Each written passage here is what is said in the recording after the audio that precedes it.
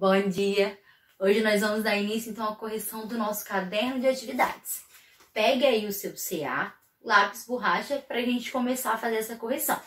Você já sabe o esquema, tanto a atividade quanto as dúvidas, pode pausar o vídeo e me perguntar e fazer a correção dessa atividade, ou pode ir anotando tudo que precisa ser feito e fazer no final do vídeo. Então vamos lá?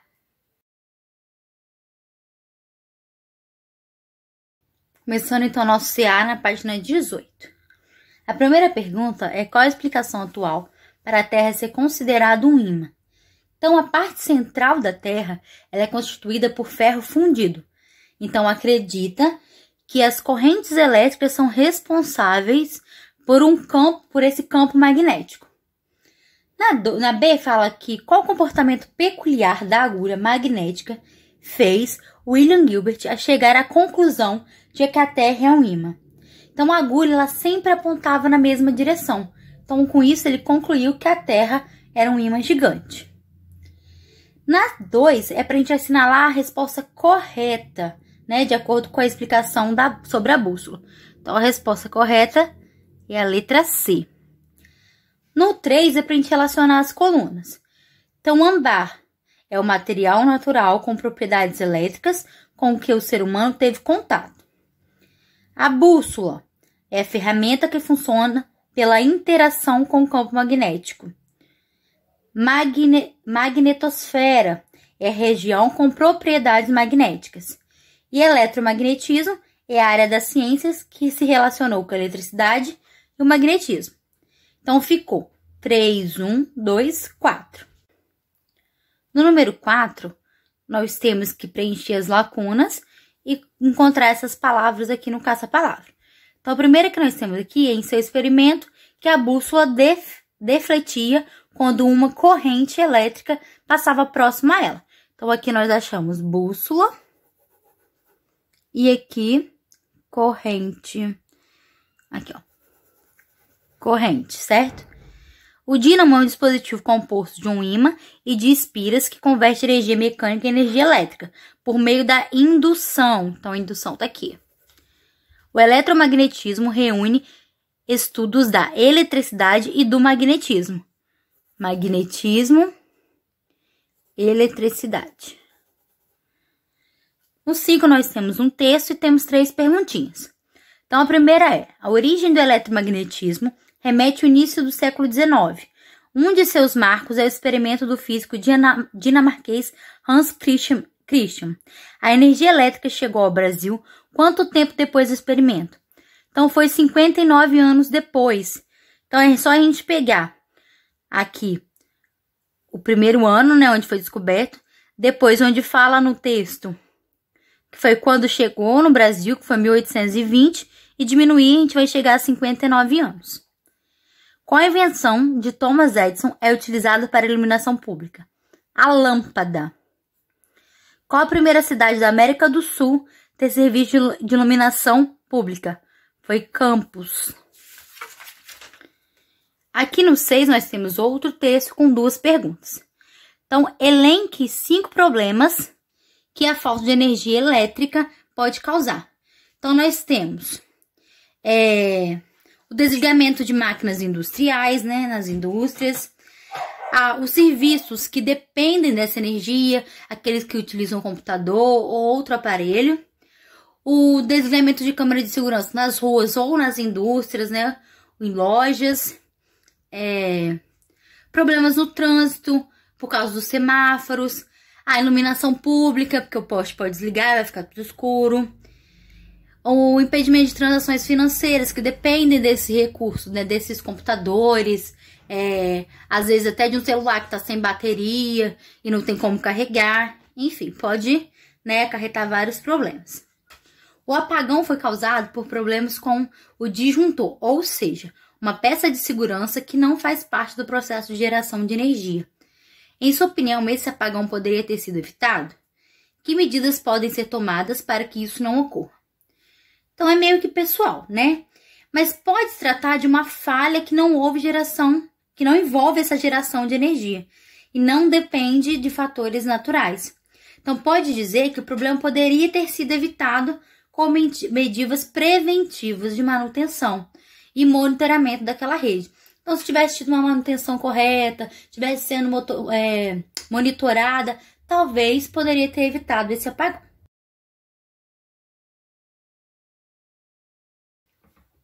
Vamos agora para energia elétrica e potência. Então, na 7, a gente vai colocar o D para situações que o efeito Joule é desejável e o I para quando ele não é desejável. Então, primeiro nós temos chuveiro elétrico. Então, o efeito Joule é desejável. Então, vamos colocar o D. Rede de transmissão de energia elétrica é indesejável. Ferro de passar roupa, desejável. A gente precisa do calor, né, para passar roupa. Carro elétrico, indesejável. Ventilador, indesejável. Imagina o ventilador esquentar. Não ia dar muito certo. Então, ficou D, I, D, I, I. Aqui no verdadeiro ou falso, nós temos a primeira verdadeira, a B verdadeira, a C falsa e a D também verdadeira. Então, temos VV, FV. Aqui no 9 nós temos um texto e está pedindo para a gente retirar desse texto dois avanços é, que tornam os refrigeradores com tecnologia inverter, mais econômica, e para explicar esse motivo. Então, o primeiro que nós temos é que eles, o compressor ele não liga e desliga a todo momento. Então, o ato de ligar o refrigerador consome uma quantidade de energia extra. E também ele não trabalha em potência máxima. Ele trabalha em uma potência necessária para realizar o trabalho sem desperdiçar energia. Explique por que o refrigerador novo consome menos energia elétrica do que um antigo. Então, o refrigerador novo, é, ele tem uma tecnologia mais avançada, né? Que essa tecnologia inverte. O refrigerador mais antigo, ele tem uma, uma tecnologia tradicional, tem maior potência, ele precisa de uma maior potência dissipada, ou seja, perdida. Enquanto esse refrigerador novo, ele só vai usar a potência necessária que ele precisa para fazer o trabalho. Ele não vai desperdiçar essa energia, não vai desperdiçar essa potência. No 10, está falando que uma residência, uma residência tem consumo mensal de 30 kWh. Se ela mantiver esse consumo durante todos os meses, quantas residências iguais a essa podem ser atendidas pela produção recorde da usina Itaipu? Lembre-se de que a produção recorde considera a produção do ano. Então, se a residência tem um consumo de 30 kWh, no ano vai ser consumido quanto? Vamos fazer a conta aqui. Então, eu tenho 300 por mês. Um ano tem 12 meses. Então, eu vou ter 3.600 kWh por ano, certo? Então, vamos considerar a produção recorde da, da Taipu, que é igual, aqui, ó, 103 milhões 098 mil 366. Então, a gente vai multiplicar por esse valor aqui. Então, quando a gente pega 3.600 e multiplica por esse valor, a gente vai chegar ao valor de 28 milhões 638 mil e 435 residências. Na B, se cada residência tiver três habitantes, quantos habitantes a Itaipu pode atender? Então, a gente vai pegar essa quantidade de residências que nós achamos na letra A e vamos multiplicar por 3, né? Que não é 3 habitantes. Então, vai dar 85 milhões 915 mil 305 pessoas. Certo? No 11, nós temos aí uma tabela para a gente assinar verdadeiro ou falso. Essa tabela, a gente vai usar os valores de referência máximo. Então, nós precisamos fazer contas para poder é, confirmar, né? Para poder fazer uma prova do que a gente colocou entre verdadeiro e falso. Então, no primeiro aí, fala que caso o morador esqueça uma lâmpada ligada durante um dia inteiro, o seu consumo será menor que o consumo de um liquidificador utilizado em duas horas, durante duas horas. Então, vamos fazer a conta para ver se vai dar certo? Então, a lâmpada eu tenho. Cadê? Vamos procurar a lâmpada aqui. A lâmpada tem 60 de potência, certo? 60 watts de potência. Então, eu vou pegar essa lâmpada, vou multiplicar por 24, que vai dar 1.400 watt-hora. Certo? Então, uma lâmpada ligada o dia inteiro. O dia inteiro tem 24 horas. Ela está sendo comparada com o liquidificador que é utilizado duas, em duas horas. Então, a energia do liquidificador. Qual a potência do meu liquidificador? Vou usar a potência máxima aqui de 600. Vezes 2. Vai dar 1.200 watts-horas. Então, tá falando aqui que se ele esquecer uma lâmpada ligada durante o dia inteiro, o seu consumo será menor que o do liquidificador. Será menor? Não, por isso que é falso. O, a lâmpada con continua sendo maior do que o liquidificador. Na letra B, fala que se o morador substituísse o sistema de bombeamento de água, ó, bombeamento de água, que é utilizado por 4 horas por dia por um sistema que não utilize a energia elétrica. A energia economizada em uma, um dia compensaria um banho quente de uma hora. Então vamos lá. Vou colocar assim de bomba. Então a potência da bomba de água é 185. Está sendo usado por 4 horas por dia. Então 185 vezes 4 vai dar 740 watts hora.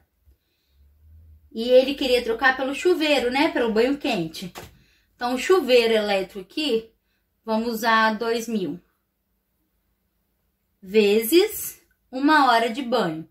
Vai dar 2.000 watts hora. Se eu usasse 2.500, daria 2.500 watts horas. Então, não seria, não compensaria, certo? Porque uma hora que você está com o chuveiro ligado, você gasta mais do que a bomba com 4 horas ligadas ligado. Então, é falso. Na letra C, ele fala do chuveiro ligado uma hora por dia. Então, chuveiro tem 200 de, 2.000 de potência, vezes 1 de uma hora, vai dar 2.000 ou 2.500, né? Como vocês quiserem usar, watt-hora. Depois ele fala, comparou com a geladeira ligada 24 horas. Então, qual é a geladeira aqui? 500 Pode fazer entre 500 e 300, não tem problema. Vezes 24, que vai dar 12 mil watt-hora. E com a máquina de lavar. Energia da máquina de lavar. Então, a máquina de lavar aqui, eu tenho de 800 a 1000. Vou usar 1000. Vezes 4 horas. Então, vai dar 4 mil. Então ele me disse que o chuveiro consome mais energia do que a geladeira ou do que a máquina de lavar roupa.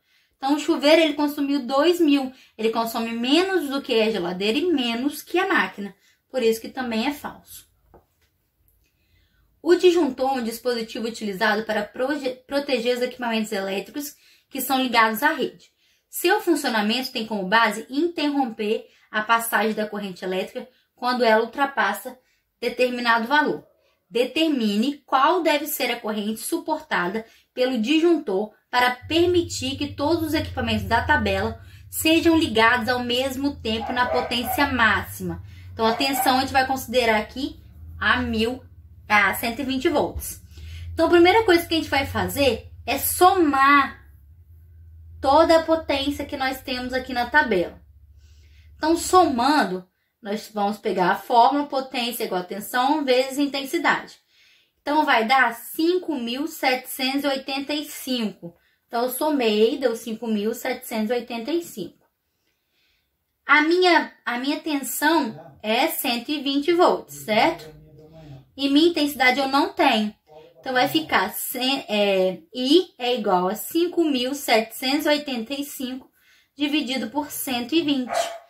Então, eu voltei aqui 48,21 amperes.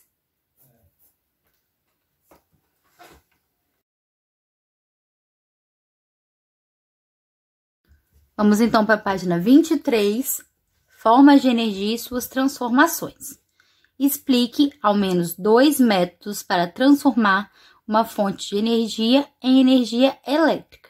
Então, nós temos as usinas hidrelétricas, que utilizam a velocidade da água para poder gerar girar as turbinas, né, dos geradores elétricos e fazer essa transformação. E temos também as usinas eólicas, que elas utilizam o movimento dos ventos para poder girar a hélice das turbinas e gerar essa energia elétrica. Aqui na 3 nós temos quatro fotogra fotografias. Então aqui nós temos a energia do movimento dos ventos, que é a energia eólica. Aqui nós temos a energia da radiação solar, que é uma usina solar. Aqui nós temos a energia do movimento das ondas, que é uma usina maremotriz. E aqui nós temos a energia do movimento de vapor de água, é, esse vapor de água aquecido, né? Que é uma usina termoelétrica. Na 14, nós temos o funcionamento de uma usina termoelétrica. Então, como que acontece isso? Aqui nós temos a queima do combustível, que vai ser energia potencial química de um combustível. Depois nós vamos ter esse vapor de água. Então, esse combustível vai ser queimado depois passa para esse vapor de água, que vai ser energia térmica ou energia do movimento do vapor de água. Então, essa energia aqui, através da queima desse combustível, tem essa energia térmica aqui que vai aquecer.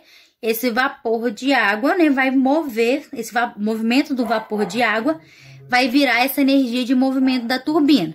Então, aqueceu aqui, queimou o combustível, aqueceu a água, o vapor de água passou pelos canos, chegou na turbina, fazendo a energia de movimento da turbina, até ser transformado né, nesse gerador e, e ir para a energia elétrica que é convertida por esses geradores eletromagnéticos. Na usina hidrelétrica, nós temos a energia potencial gravitacional da, das águas aqui na represa. Então, nós temos a energia do movimento das águas, que é quando as águas passam por aqui e vai chegar aqui nessa turbina. Então, aqui nós teremos energia de movimento de um motor. E aqui, por final, nós temos energia elétrica convertida por geradores eletromagnéticos. Na quinta, nós temos um texto, né? E nesse, depois pergunta como o gás produzido pela fermentação dos alimentos no estômago das vacas poderia ser utilizado para a geração de energia elétrica. Então, esse gás ele poderia ser, é, ser utilizado como combustíveis para usinas termoelétricas.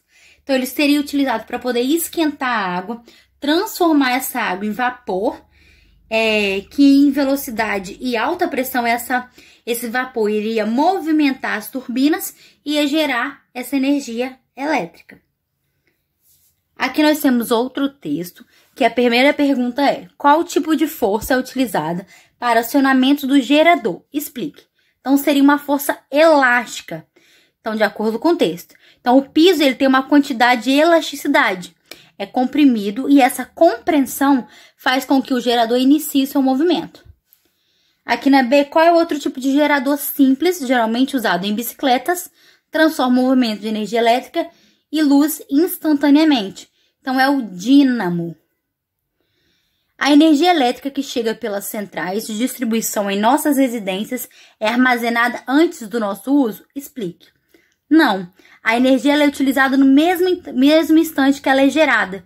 Então, ela está sendo gerada, ela já está sendo utilizada.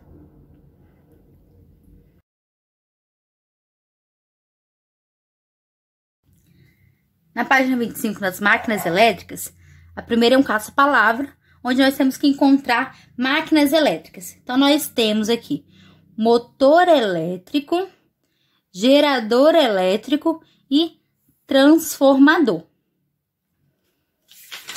Página 26 agora, nós temos que completar. Então, Oersted foi um dos primeiros cientistas a investigar e sistematizar as relações existentes. Transformadores são dispositivos capazes de elevar a tensão, de, de, a tensão elétrica. Geradores são dispositivos que transformam energia de movimento em energia elétrica. Faraday, físico contemporâneo, observou que o movimento de um ímã próximo ao inspira produz uma corrente elétrica induzida. Indução eletromagnética é o princípio físico utilizado nas máquinas elétricas. Máquinas elétricas compreendem um conjunto de instrumentos que transformam a energia elétrica em outros tipos de energia. Então, todas as palavras que nós achamos, preenchemos aqui as lacunas, vocês vão colocar aqui na cruzadinha, certo? Na 19, nós temos a energia elétrica das redes de transmissão vem em alta voltagem, geralmente 13.800 volts, e precisa ser reduzida. Sobre o assunto, responda as questões a seguir. Determine a razão entre o número de voltas da bobina primária e, o e de transformação em relação, em relação à bobina secundária. Sabendo que a tensão que chega às residências precisa ser igual a 220 volts. Então vamos lá. Nós temos aqui então número de volts da primária e número de volts da segunda. Tensão da, da primária, tensão da secundária, certo? Então, o número de voltas aqui nós não temos, certo? Número de volta de nenhuma das duas. Então, a gente vai repetir. Da primária e da secundária. A voltagem da primária é 13.800. A voltagem da secundária é 220. Então, nós teremos aqui número de voltas da primária, número de voltas da secundária. Então, a razão entre essas duas, eu vou dividir 13.800 por 220. Vai dar 62,73. Por que as linhas de transmissão de energia trabalham com tensões tão elevadas? Então, por que, que isso acontece? Para minimizar as perdas de energia elétrica em forma de calor, então decorrentes do efeito Joule. Então, se aumenta a tensão no sistema, vai diminuir a corrente elétrica que é causadora desse efeito Joule. Então, vamos ler atentamente o texto a seguir. Existe muita confusão entre alto volt e bivolt automático.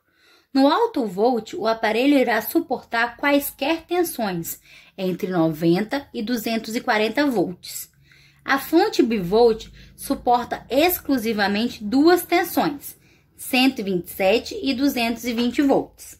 Vale lembrar que existem os equipamentos de tensão específica, ou seja, somente 127 volts ou 220. Então vamos aqui assinar em verdadeiro ou falso. Ao ligar um aparelho alto volt em uma tensão de 220 volts, ele irá queimar. Não, falso, né? Porque ele suporta até 240, então ele não vai queimar. Ao ligar um aparelho bivolt em uma tensão de 100 volts, não haverá problema algum de funcionamento. Haverá porque ele tem duas tensões específicas, que é 127 e 220, por isso que é falsa. Deve-se sempre verificar a tensão e mudar a chave do aparelho bivolt para a tensão que será usada, 127 ou 220. Verdadeiro. Então a gente tem que fazer, mudar essa chavinha nos, nos eletrodomésticos bivolts, né? Geralmente secador de cabelo ele vem com uma chavinha para você girar quando você vai trocar de tensão de energia. O aparelho alto volt tem um funcionamento prejudicado se ligado à tensão de 127 volts falso, porque ele suporta de 90 a 240. Então, ele não vai ser prejudicado. Caso um aparelho não funcione, com a tensão do ponto de energia onde será ligado, devemos usar um transformador para adequar a tensão. Verdadeiro. A gente pega um transformador, né? Para poder transformar essa energia de acordo com a tensão daquele local onde você quer ligar e ele vai funcionar. No 21, nós temos o número de 1 a 3, que estão associados com a tensão do ponto de energia onde estão associados com cada um dos tipos de máquina elétrica estudados nesse capítulo. Nas afirmativas, existem características dessas máquinas elétricas. Então, utilize os números para relacionar adequadamente. Então, nós temos motor elétrico, gerador elétrico e transformador elétrico.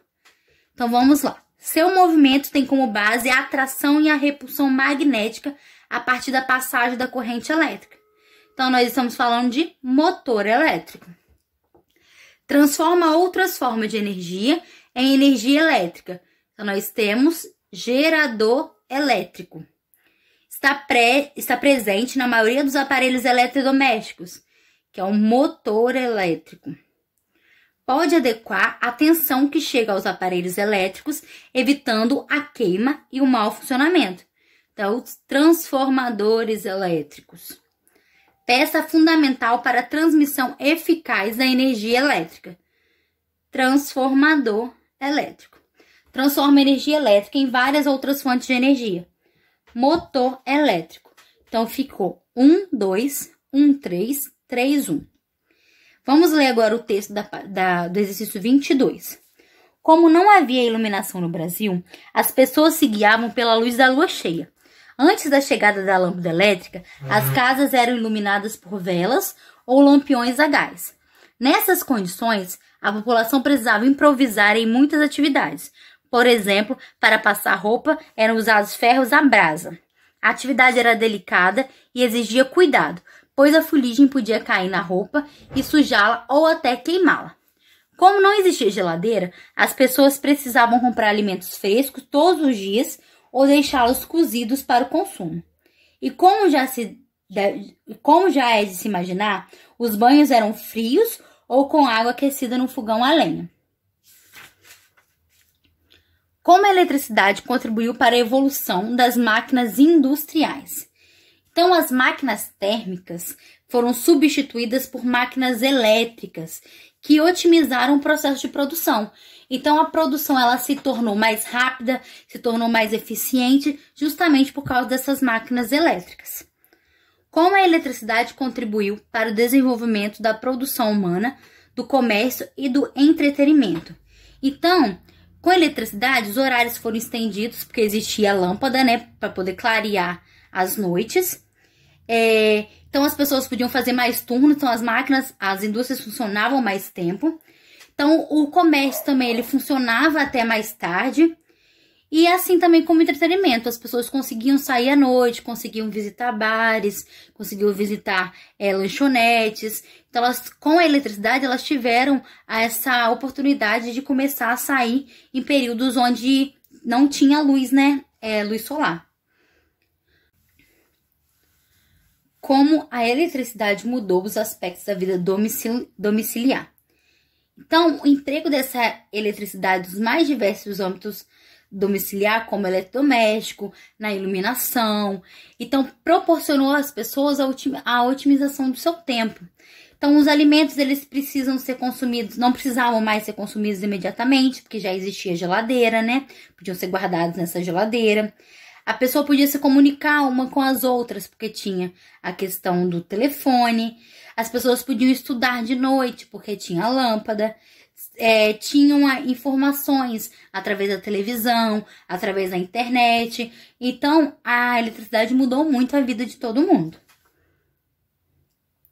No 24, é uma questão do Enem, onde fala que as águas de março definem-se a falta de luz esse ano.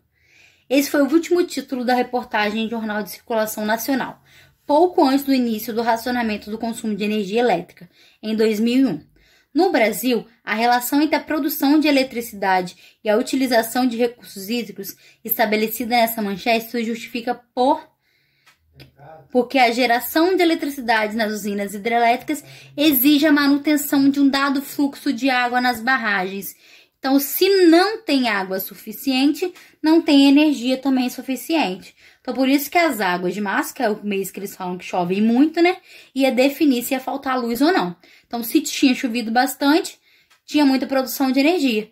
Se a chuva não foi o bastante, a produção de energia não era muita também. Na 24, entre inúmeras recomendações dadas para a economia de energia elétrica em uma residência, destacamos o seguinte: substituir lâmpadas incandescentes por fluorescentes compactadas, evitar o uso de chuveiro elétrico com chave de posição inverno ou quente, acumule, acumule uma quantidade de roupa para ser passada a ferro elétrico de uma vez só, evite o uso de tomadas múltiplas para ligar vários aparelhos simultaneamente, utilize na instalação elétrica fios de diâmetros recomendados às suas finalidades. As características comuns de todas essas recomendações é a proposta de economizar energia através da tentativa de, no dia a dia, reduzir o consumo de energia elétrica convertida em energia térmica. Então, fechamos aqui o nosso CA. Terminamos aqui, então, a nossa correção. Espero que vocês tenham acertado bastante questões, que tenha dado tudo certo. Qualquer coisa, eu estou à disposição para tirar qualquer dúvida de vocês, tá? Então, na nossa próxima aula, eu vou enviar para vocês uma atividade avaliativa. Quem tiver a possibilidade vai imprimir essa atividade, vai fazer, vai colar no caderno. O gabarito dessa atividade tem que ser feito a caneta. Então, quem não puder imprimir, não tem problema. Faça a atividade no caderno, a caneta, e depois me manda foto dessa atividade. Eu vou lançar as notas no nosso portal. Então, assim que tiver as notas lançadas, eu já vou avisando vocês, tá? Então, fiquem em casa, se cuidem, estudem e até a nossa próxima aula. Espero que isso tudo passe rapidinho pra gente poder estar junto de novo, porque eu tô morrendo de saudade.